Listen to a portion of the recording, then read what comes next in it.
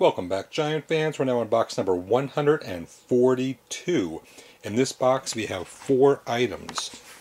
The four items are three vintage bar signs. These are electric signs that you plug in and um, another uh, vintage bar sign, a clock. Let's take a look at these here.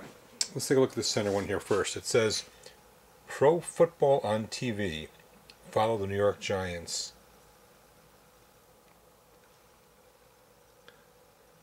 Hard to tell what year this is from. I'm going to guess this is 1950s or 1960s.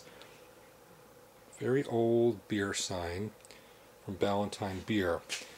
It's approximately 25 inches tall, approximately 9.5 inches wide, and there are three of them.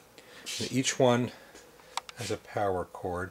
Now this one has the same top where it says Pro Football, you know, follow the Giants. So does the second one.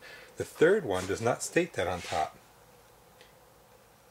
It's the same image on all three, but one doesn't have the Giants on top, but it clearly has the Giants logo, same picture. So there's three of those, and each one has the electric cord. And then there's the one pen pennant. This is um metal it's about the same size as these signs. It's a clock. This clock shows it's from 1989. Unfortunately, we broke the tip when we were packaging it.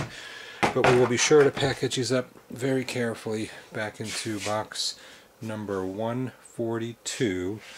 Again, has four items. The three vintage Ballantine signs and the one clock four items, box number 142.